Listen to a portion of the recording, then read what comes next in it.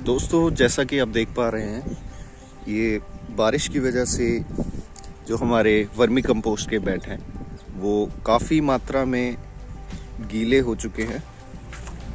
और क्योंकि हमने ये जो वर्मी कंपोस्ट है, ये ओपन में किया है, बिना शेड के तो गीले होने के पूरे आसार हमें पहले से पता होते हैं।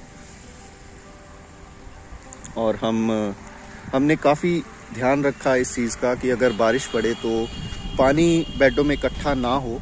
इसलिए हमने अब देख पा रहे हैं, जैसा कि ये पानी बाहर निकल चुका है। इसके लिए हमने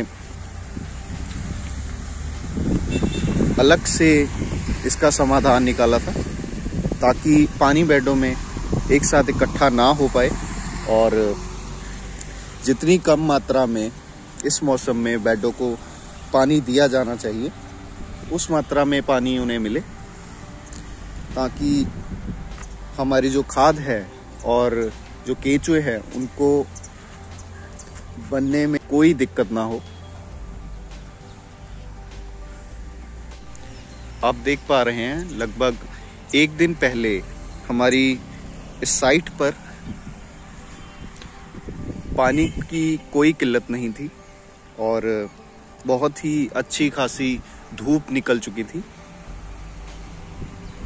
पर आज और कल, ये जो दो दिन बारिश पड़ी, इसकी वजह से हमारे बेडों को जो नुकसान हुआ है, जो पानी इन्हें ज़्यादा मात्रा में मिल चुका है, उसकी वजह से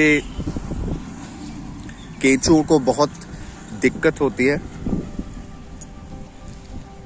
हमने जिस प्रकार से बेडों का निर्माण किया और पानी की जो समस्या है, उसका समाधान निकालने के लिए हमने जो तरीका अपनाया, वो बहुत ही सक्सेसफुल रहा।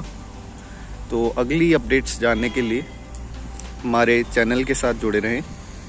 धन्यवाद।